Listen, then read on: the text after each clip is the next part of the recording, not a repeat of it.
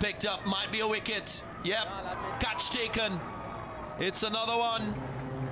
So the Warriors strike again. This time it's their captain.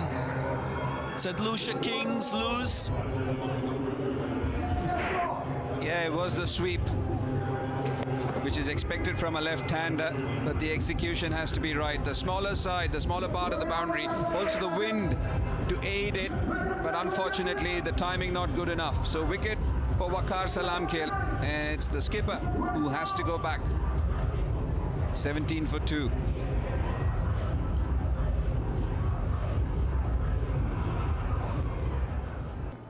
Yeah. Got his revenge. Salamkheil. Couple of big strikes. And then the wicket. Always so satisfying, Ian Bishop. Not the pull, getting the wicket. And you've just been bosh for a couple as a bowler, and you can come back and do this. Yeah, lovely. Just just held it back a little. Got the pace and the flight so, so correct on that occasion. So, uh, Salamkheil, I'm pleased for you, the young Afghan.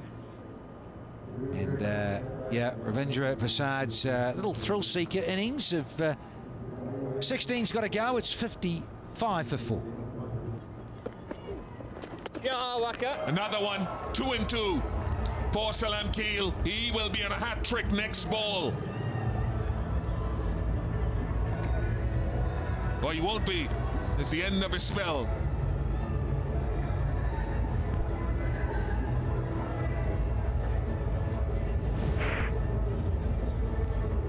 Young August, he's in and he's out.